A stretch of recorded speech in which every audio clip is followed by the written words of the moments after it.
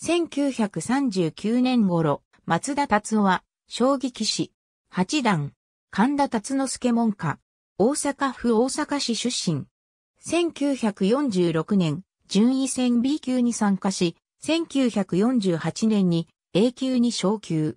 この年は B 級の上位1名と A 級の上位3名が名人挑戦者決定戦に進出し、4社、パラマス方式で挑戦者が決定された。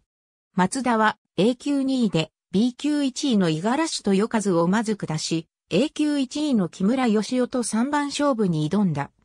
名人復帰に燃える木村を相手に、関西出身の松田は盛大な声援をバックに対局した。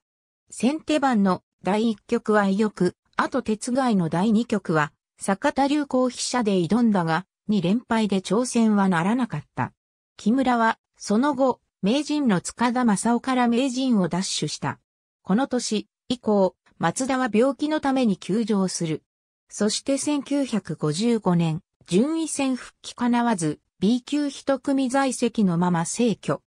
2020年、石川陽生七段らによって、松田の生涯を記録した同人誌、不当から忘れられた騎士、松田達夫八段の記録マイナスが発刊された。